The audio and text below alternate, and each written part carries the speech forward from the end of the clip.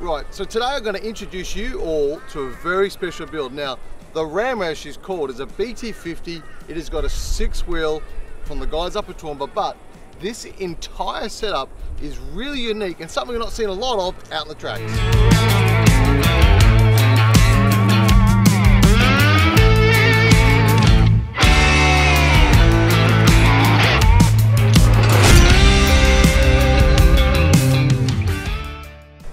Today I want to introduce you to Matt's rig. We're calling it the Rammer, as she's been known.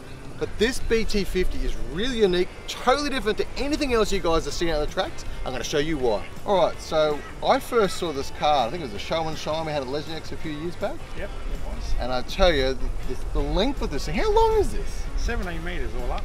Car All and up. Van. Yeah. Sounds a lot, but at the same time, why did you go BT50 over everything else that people have done? Um, cost, mate. Cost was the uh, the, the driving factor. But Yeah. she still costs a fair bit, this setup. Yep, yep.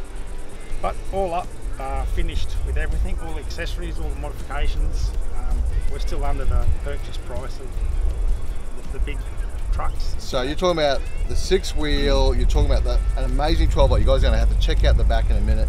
Uh, even the little jig, everything is underneath the price and full customized, Yep. full bespoke to what you guys need. Yep. I love it. All right, let's just start from front to back.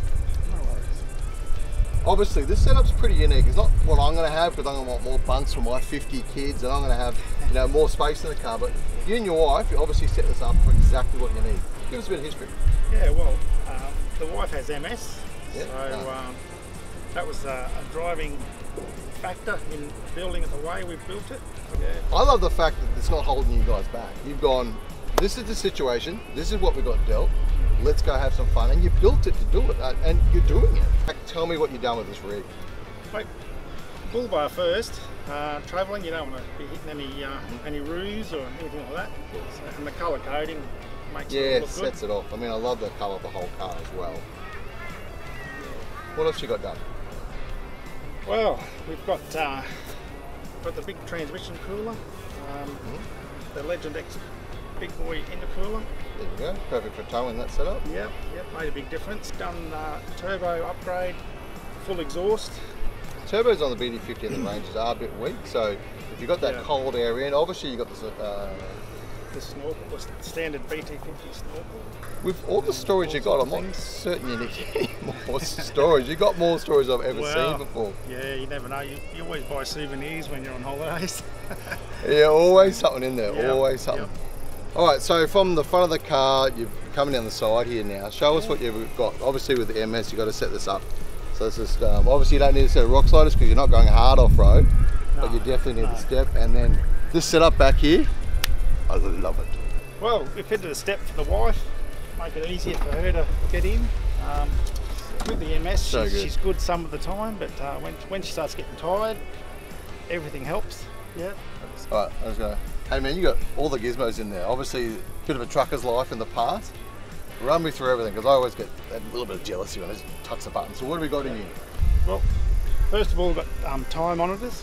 So I figured that uh, much easier to pull up and pump the tyre up and drive to the tyre shop than change one on the side of the highway. 100%. Um, we've got the screen on the dash, which uh, is my full-time rear vision mirror. When the caravan's plugged in and connected, um, it works off the camera on the back of the van, so I can better. usually see what's behind. So you've got the big mirrors, we've got the big cameras. Yeah, Perfect. just the UHF. Put a little GPS speedo on the on the dash there for those times where you want to just get that little bit more out of it. All right, the amount of storage I'm seeing here, I mean, obviously between the van and this is amazing.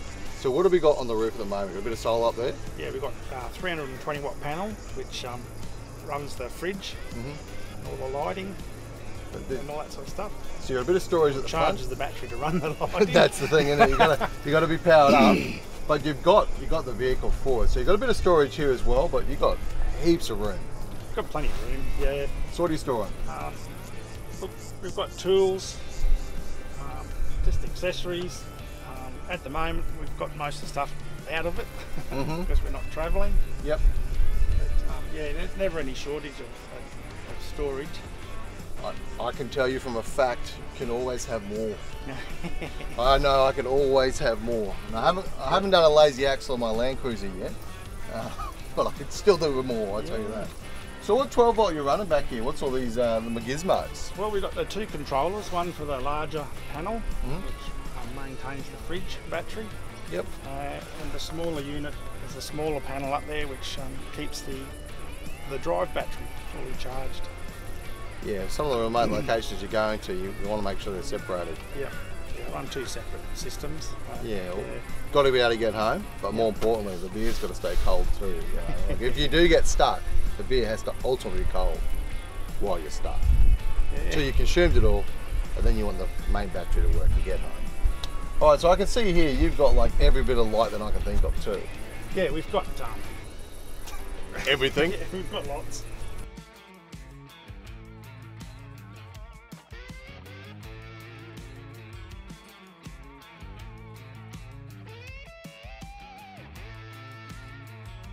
Well, the six wheeler, how does it tow? Let's just start with that. Uh, tows really well. That that longer wheelbase and the extra axle um, really planted. So uh, yeah, Yeah, I think I think I know. It's like you said before, they normally do a meter, but you shorten it up a little bit just because of how long you are, which is 17 meters. yeah, yeah. The guys at Longest six bus I've wheeler, seen. the guys at six wheeler at Toowoomba, Yep. uh, they recommended we just do the 800 Mhm. extension rather than the meter. Yeah, but you're very you're very balanced. When I see you drive, you're so balanced. All that sort of thing I like. How's the braking? Sort of that. Braking's not too bad now. Um, we- we've done a few modifications, different size wheel cylinders, um, Yep. braided brake lines, um, just things to get a better feel. Yeah. And what's the what's the what's the road weight of the vehicle now? Look, it varies. It's, it's around the three ton, uh, uh, maybe a little under, a little over. But you can go how high? We can go to 44.95, so five kilos under four and a half ton. So that that's what that's yeah, delivered. Yeah, So you can put a lot of gear in the back of this. yeah, and the roof, yeah. Obviously, it's a towing. It's a unique setup. Why have you gone with this one? Well, we used to get a bit of boppiness Mm. um, through the car because we're not running load levelers. We don't really need to anymore. Yep. So the um, the shocker hitch has, has smoothed that that drive. I remember before you had it Remarkably. and after, you were like, has to be done. You, there was, and I've Yeah. seen it now in action. I'm like, wow, this is this is legit. Uh, the difference is day and night, really. Um, if you've got a decent sized van, you really need to uh, run something something similar. Which it's got an airbag, Yeah, it's an airbag. yeah, and that is completely changed. Obviously, you got a little extra uh, mud flaps. Your, your truck is like that. You know, you don't want to flick too much on. That's all on it. you know, the, the NDIS um, did help with uh, the lift and the Mm-hmm. step and, and many other things at home. So uh, yeah, every little piece helps at the end of the day. 100%. Yeah. Hey Matt, thanks for showing us the front end. Obviously, you've got a lot of storage and you've got all the gear, but really, this is where this is the home. This is the hub right in here. What do you got? Talk to me. Well, we've got the 21 foot Majestic Garoova. Mm-hmm. Um, we upgraded to that model at the very last minute. Really? Yeah, we had a much cheaper one organised, but uh, yep. She's good looking. I mean, obviously. Um, so, what do you got for power through this? We've got uh, three lithiums that um, we've got about 900 amp hours roughly of power. That's should cut it. So we fit um, 2000 watt inverter. Um, Yep. mainly for me, I, I've got uh, sleep apnea, so I run my CPAP machine with that at night. But uh, I tell you what. we don't what- have coffee makers or anything like that. No, okay. Well, the thing I like is the fact that now that I've heard how much power you got, and obviously solar and AGMs, it's the water that holds you guys back. The water's the only thing that makes I laugh at that because most people are like, oh, I got no power, but you've got all the power. You could run my site and everyone's site, and these guys' site. So obviously your wife's got MS, so you've got a different setup in the bathroom there, because it's yeah. like the Taj Mahal. We chose this one, uh, the ensuite. Uh, the, the shower is enormous for a caravan, It is. um, so we, we can fit a um, like a stool in there, and uh, if she's having a bad day, I can I can uh, help her out. Yep. All right, one second. All right, happy with this? So yeah, um, so we'll go bed, lounge room, kitchen, fridge.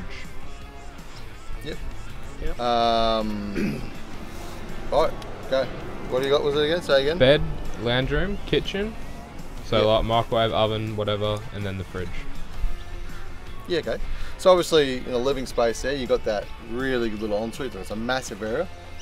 The bed, the lounge, because it's it's all mint in there. Yeah, it's it's surprising such a big van's only been built for two, really. So Well, I'm a little envious of space. Yeah.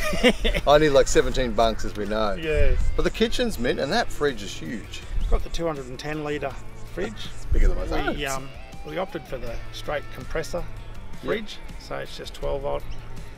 So Why? we've- we've got- Why did you? Well, Glad that you asked. yeah, I just thought that was the uh, best way to go. Mhm. Um, most efficient in cooling. Um, we've got four solar panels. We've got plenty of battery life. The bed, heaps of storage under the bed. Uh, that's where we've opted to fit. We've got a, um, a gas heater Yeah, under yeah. the bed.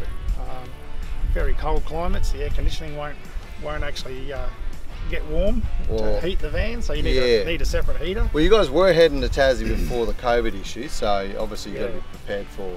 Even summer's cold there. I don't know what's wrong with people in Tassie loving the cold as much as Oh. they do, but it's freezing in summer. Summer's beautiful, mid twenties. Oh, it's, Hey, free- it's cool freezing nights. down there. It's like our winter up here in Queensland. Um, that's their summer. It's it's quite nice. Oh, I'm never going down in winter, I tell you that much. I'm never doing Tassie winter. But I have done a couple of hailstorms and a few other things down there. But Yeah. I do love the fact that, you know, they call these things a bus in Tassie. So it's not actually a four-wheel drive. You're, it's called a bus. I get, but this is Yeah. bigger than a bus. Thank Well, Matt, Yep. thank you very much for showing us You're that. very welcome. Oh, I loved it. I just want to make sure that everyone had a good look at it. Something really, really different. Uh, and if you're towing something, this is a really, really cool setup, particularly with your story. So thank you for sharing as well, bro. No worries. So, guys, uh, if you see him out in the tracks, he's always open for a bit of a conversation at the. A bit of campgrounds. a chat. Yeah. But for all those that can't get out there, comment below. We'll answer your questions. We'll help you as much as we can. And this has been a really cool BT50 multi-axle because there's like 30 axles back there. All the storage 12 volt setup. Yeah. I'm built off road, guys. Woo!